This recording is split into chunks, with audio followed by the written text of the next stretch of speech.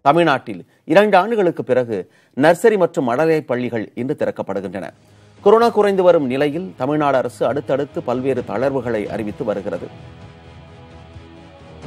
Corona தொற்று குறைந்து வரும் நிலையில் தமிழ்நாடு அரசு அடுத்தடுத்து தளர்வுகளை அறிவித்து வருகிறது. அதன்படி நர்சரி பள்ளிகள் மற்றும் மழலையர் விளையாட்டு பள்ளிகள் இன்று முதல் திறக்கப்படுகின்றன. பொருட்காட்சிகள் நடத்தவும் அனுமதி வழங்கப்படுகிறது. திரையரங்குகள் வணிக வளாகங்கள் உணவகங்கள் உடற்பயிற்சி கூடங்கள் அழகு நிலையங்கள் உள்ளிட்டவை நூறு சதவீத வாடிக்கையாளர்களுடன் இயங்க அனுமதி வழங்கப்படுகிறது. அதே நேரத்தில் சமுதாய கலாச்சார மற்றும் அரசியல் கூட்டங்கள் போன்ற மக்கள் கூடும் நிகழ்வுகளுக்கு தடை தொடர்கிறது. மேலும் திருமணம் மற்றும் திருமணம் சார்ந்த நிகழ்வுகளில் இருநூறு பேரும் இறப்பு சார்ந்த நிகழ்வுகளில் நூறு நபர்களுக்கு மிகாமலும் பங்கேற்க அனுமதி வழங்கப்பட்டுள்ளது.